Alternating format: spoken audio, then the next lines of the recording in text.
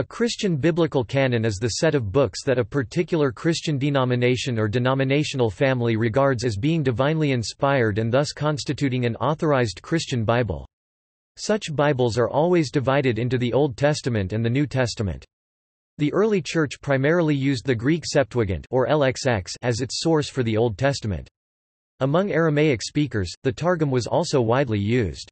The Apostles did not leave a defined set of scriptures, instead the canon of both the Old Testament and the New Testament developed over time. The Catholic Encyclopedia article on the New Testament describes the process of assembling the histories and letters circulated within the early Church until the canon was approved by a series of councils seeking to ensure legitimacy as inspired scripture.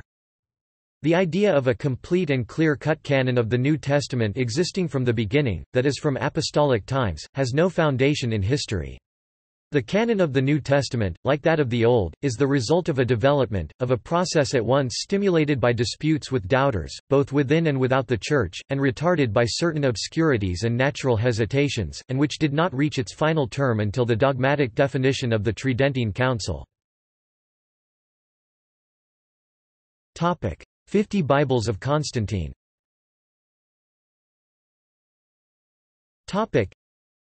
in 331, Constantine I commissioned Eusebius to deliver 50 Bibles for the Church of Constantinople. Athanasius recorded Alexandrian scribes around 340 preparing Bibles for Constans. Little else is known, though there is plenty of speculation. For example, it is speculated that this may have provided motivation for canon lists, and that Codex Vaticanus and Codex Sinaiticus are examples of these Bibles. Those codices contain almost a full version of the Septuagint. Vaticanus is only lacking 1 to 3 Maccabees and Sinaiticus is lacking 2 to 3 Maccabees, 1 Esdras, Baruch and Letter of Jeremiah. Together with the Peshitta and Codex Alexandrinus, these are the earliest extant Christian Bibles. There is no evidence among the canons of the First Council of Nicaea of any determination on the canon. However, Jerome 347 420 in his prologue to Judith makes the claim that the Book of Judith was found by the Nicene Council to have been counted among the number of the sacred scriptures. Topic: The Vulgate Bible. Topic Pope Damasus's commissioning of the Latin Vulgate edition of the Bible, c. 383, was instrumental in the fixation of the canon in the West. This list, given below, was purportedly endorsed by Pope Damasus I.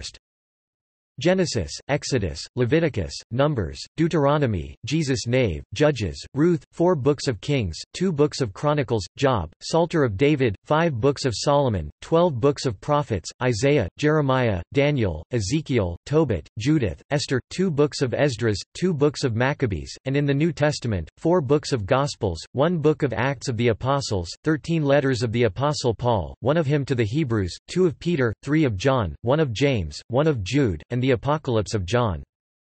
The two books of Esdras refer to the books of 1 Esdras and Ezra Nehemiah, which are entitled, 1st Ezra and 2nd Ezra in the Old Latin Bible, corresponding to the two books, Esdras A and Esdras B of the Septuagint version. Jerome, as the author of the Vulgate, in the preface of the books of Samuel and Kings explains the following. To the third class belong the Hagiographa, of which the first book begins with Job, the eighth, Ezra, which itself is likewise divided amongst Greeks and Latins into two books, the ninth is Esther. Pope Damasus I is often considered to be the father of the Catholic canon. Purporting to date from a «Council of Rome» under Pope Damasus I in 382, the so-called «Damasian list» Appended to the Decretum Gelasianum gives a list differing from that which would be the accepted by Canon of Trent only in including one Esdras as canonical, and, though the text may in fact not be Damasian, it is at least a valuable 6th-century compilation. The Oxford Dictionary of the Christian Church states that a council probably held at Rome in 382 under Saint Damasus gave a complete list of the canonical books of both the Old Testament and the New Testament also known as the Gelasian Decree because it was reproduced by Gelasius in 495, which is identical with the list given at Trent. Augustine and the North African Councils Topic. Augustine of Hippo declared without qualification that one is to prefer those that are received by all Catholic churches to those which some of them do not receive." On Christian Doctrines 2.12. By «Catholic churches» Augustine meant those who concurred in this judgment, since many Eastern churches rejected some of the books Augustine upheld as universally received. In the same passage, Augustine asserted that these dissenting churches should be outweighed by the opinions of the more numerous and weightier churches which would include Eastern churches, the prestige of which Augustine stated moved him to include the Book of Hebrews among the canonical writings, though he had reservation about its authorship. Augustine called three synods on canonicity, the Synod of Hippo in 393, the Council of Carthage 397, and the Council of Carthage 419, m 237-8, each of these reiterated the same church law, "...nothing shall be read in church under the name of the divine scriptures." Except the Old Testament arguably including the books later called Deuterocanonicals and the canonical books of the New Testament. These decrees also declared by fiat that epistle to the Hebrews was written by Paul, for a time ending all debate on the subject. Philip Schaff says that the Council of Hippo in 393, and the third according to another reckoning the Sixth Council of Carthage in 397, under the influence of Augustine, who attended both, fixed the Catholic canon of the Holy Scriptures, including the Apocrypha of the Old Testament. This decision of the Transmarine Church however, was subject to ratification, and the concurrence of the Roman see it received when Innocent I and Gelasius I AD 414 repeated the same index of biblical books. This canon remained undisturbed till the 16th century, and was sanctioned by the Council of Trent at its fourth session. According to Lee Martin McDonald, the Revelation was added to the list in 419. These councils were convened under the influence of St. Augustine, who regarded the canon as already closed. A consensus emerges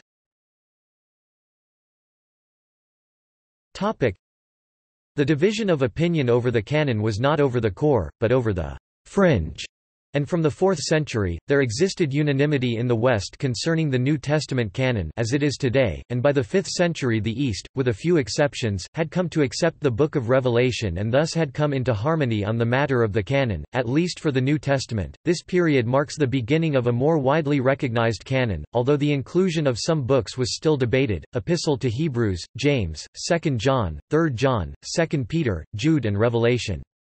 Grounds for debate included the question of authorship of these books note that the so-called Damasian Council at Rome had already rejected John the Apostle's authorship of 2 and 3 John, while retaining the books, their suitability for use Revelation at that time was already being interpreted in a wide variety of heretical ways, and how widely they were actually being used 2 Peter being amongst the most weakly attested of all the books in the Christian canon. Christian scholars assert that when these bishops and councils spoke on the matter, however, they were not defining something new, but instead were ratifying what had already become the mind of the Church. Topic Eastern canons Topic The Eastern churches had, in general, a weaker feeling than those in the West for the necessity of making a sharp delineation with regard to the canon. They were more conscious of the gradation of spiritual quality among the books that they accepted e.g. the classification of Eusebius, see also Antilegomena and were less often disposed to assert that the books which they rejected possessed no spiritual quality at all. For example, the Trullan Synod of 691–692, which was rejected by Pope Constantine see also Pentarchy, endorsed the following lists of canonical writings, the Apostolic Canons c. 385, the Synod of Laodicea c. 363, the Third Synod of Carthage c. 397, and the 39th Festal Letter of Athanasius 367. And yet, these lists do not agree. Similarly, the New Testament canons of the Syriac, Armenian, Georgian, Egyptian Coptic and Ethiopian churches all have minor differences. The Revelation of John is one of the most uncertain books, it was not translated into Georgian until the 10th century, and it has never been included in the official lectionary of the Eastern Orthodox Church, whether in Byzantine or modern times. Topic Peshitta topic The Peshitta is the standard version of the Bible for churches in the Syriac tradition. Most of the deuterocanonical books of the Old Testament are found in the Syriac, and the Wisdom of Sirach is held to have been translated from the Hebrew and not from the Septuagint. This New Testament, originally excluding certain disputed books 2 Peter, 2 John, 3 John, Jude, Revelation, had become a standard by the early 5th century. The five excluded books were added in the Harklean version 616 AD of Thomas of Harkle. The Standard United Bible Society's 1905 edition of the New Testament of the Peshitta was based on editions prepared by Syriacists Philip E. Pusey D.1880, George Gwilliam D.1914, and John Gwynn. All 27 books of the Common Western Canon of the New Testament are included in this British and Foreign Bible Society's 1905 Peshitta edition. Topic Armenian canon topic The Armenian Bible introduces one edition, a third letter to the Corinthians, also found in the Acts of Paul, which became canonized in the Armenian Church, but is not part of the Armenian Bible today. Revelation, however, was not accepted into the Armenian Bible until c. 1200 AD when Archbishop Nerses arranged an Armenian synod at Constantinople to introduce the text. Still, there were unsuccessful attempts even as late as 1290 AD to include in the Armenian canon several apocryphal books, Advice of the Mother of God to the Apostles, the books of Kriapos, and the ever-popular Epistle of Barnabas. The Armenian Apostolic Church at times has included the testaments of the Twelve Patriarchs in its Old Testament and the Third Epistle to the Corinthians, but does not always list it with the other 27 canonical New Testament books. Topic East African canons topic The New Testament of the Coptic Bible, adopted by the Egyptian Church, does not include the two epistles of Clement. The canon of the Tewahedo churches is somewhat looser than for other traditional Christian groups, and the order, naming, and chapter, verse division of some of the books is also slightly different. The Ethiopian narrow Canon includes 81 books altogether, the 27-book New Testament, those Old Testament books found in the Septuagint and accepted by the Orthodox, as well as Enoch, Jubilees, 1 Esdras, 2 Esdras, rest of the words of Baruch and three books of Maccabean these three Ethiopian books of Maccabees are entirely different in content from the four books of Maccabees known elsewhere. The broader Ethiopian New Testament canon includes four books of synodos, church practices, two Books of Covenant, Ethiopic Clement, and Ethiopic Didaskalia, Apostolic Church Ordinances. However, these books have never been printed or widely studied. This broader canon is also sometimes said to include, with the Old Testament, an eight-part history of the Jews based on the writings of Flavius Josephus, and known as Pseudo-Josephus, or Joseph ben Gurion, Yosef Valda Korian. Reformation era Topic: Before the Protestant Reformation, there was the Council of Florence 1439 1443. During the life, and with the approval of this council, Eugenius IV issued several bulls, or decrees, with a view to restore the Oriental schismatic bodies to communion with Rome, and according to the common teaching of theologians these documents are infallible statements of doctrine. The Decretum pro Jacobitis contains a complete list of the books received by the Church as inspired, but omits, perhaps advisedly, the terms canon and canonical. The Council of Florence therefore taught the inspiration of all the scriptures, but did not formally pass on their canonicity. It was not until the Protestant reformers began to insist upon the supreme authority of Scripture alone, the doctrine of sola scriptura, that it became necessary to establish a dogmatic canon. Martin Luther. Martin Luther was troubled by four New Testament books, Jude, James, Hebrews, and Revelation, and though he placed them in a secondary position relative to the rest, he did not exclude them. Martin Luther proposed removing these antilegomena, the books of Hebrews, James, Jude and Revelation from the canon, echoing the consensus of some Catholics such as Cardinal Cajetan and Erasmus, and partially because they were perceived to go against certain Protestant doctrines such as sola gratia and sola fide, but this was not generally accepted among his followers. However, these books are ordered last in the German-language Luther Bible to this day. Luther also removed the so-called deuterocanonical Books from the Old Testament of his translation of the Bible, placing them in the Apocrypha, that are books which are not considered equal to the Holy Scriptures, but are useful and good to read. Council of Trent In light of Martin Luther S demands, the Council of Trent on 8 April 1546 approved the present Catholic Bible canon, which includes the deuterocanonical books, and the decision was confirmed by an anathema by vote 24 yea, 15 nay, 16 abstain.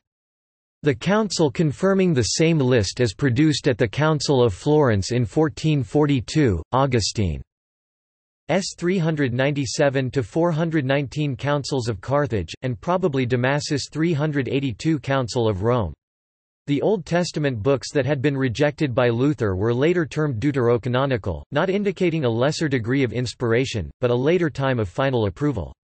Beyond these books, the Sixto-Clementine Vulgate contained in the appendix several books considered as apocryphal by the Council, Prayer of Manasseh, three Esdras, and four Esdras.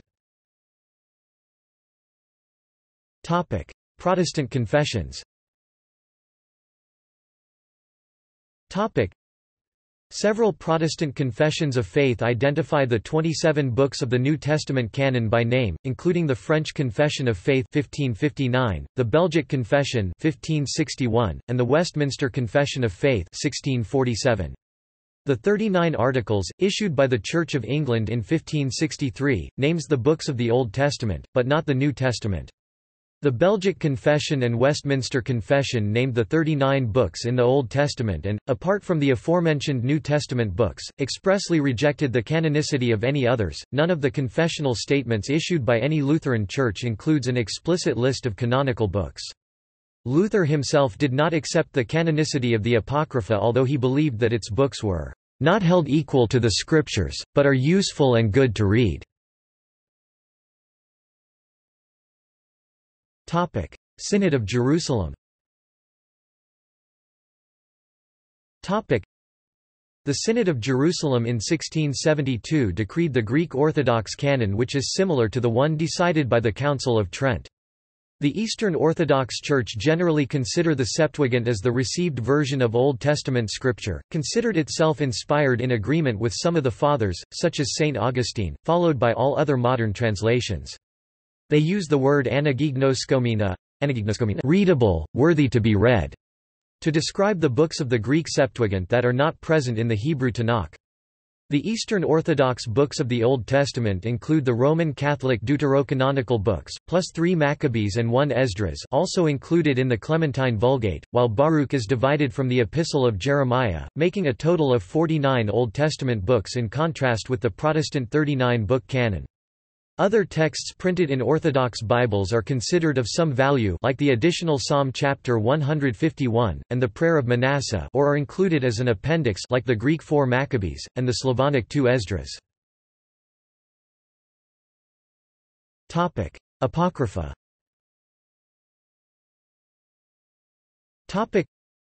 most of the Old Testament books of the Protestant Apocrypha are called deuterocanonical by Catholics per the Council of Trent, and all of them are called anagignoskomena by the Eastern Orthodox per the Synod of Jerusalem. The Anglican Communion accepts the Apocrypha for instruction in life and manners, but not for the establishment of doctrine, and many lectionary readings in the Book of Common Prayer are taken from the Apocrypha, with these lessons being read in the same ways as those from the Old Testament. The Protestant Apocrypha contains three books three Esdras, four Esdras and the Prayer of Manasseh that are accepted by many Eastern Orthodox churches and Oriental Orthodox churches as canonical, but are regarded as non-canonical by the Catholic Church and are therefore not included in modern Catholic Bibles. Various books that were never canonized by any church, but are known to have existed in antiquity, are similar to the New Testament and often claim apostolic authorship, are known as the New Testament Apocrypha. Some of these writings have been cited as scripture by early Christians, but since the 5th century a widespread consensus has emerged limiting the New Testament to the 27 books of the modern canon. Thus Roman Catholic, Eastern Orthodox and Protestant churches generally do not view these New Testament apocrypha as part of the Bible. Modern Bibles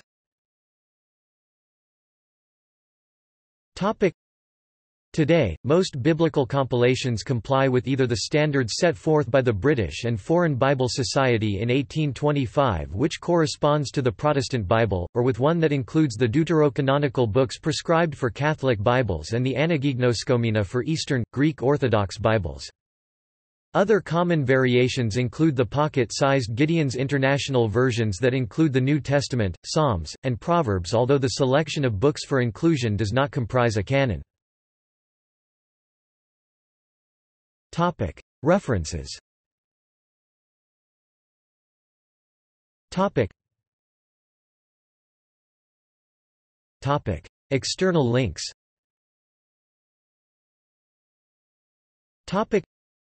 Michael Barber, Loose Canons, The Development of the Old Testament Part 1, The Sacred Page Dale B. Martin, Introduction to New Testament History and Literature Course Materials, Open Yale Course, Yale University Pamphili, Eusebius, Schaff, Philip, ed., Ecclesiastical History, Christian Classics Ethereal Library. The development of the canon of the New Testament, includes very detailed charts and direct links to ancient witnesses.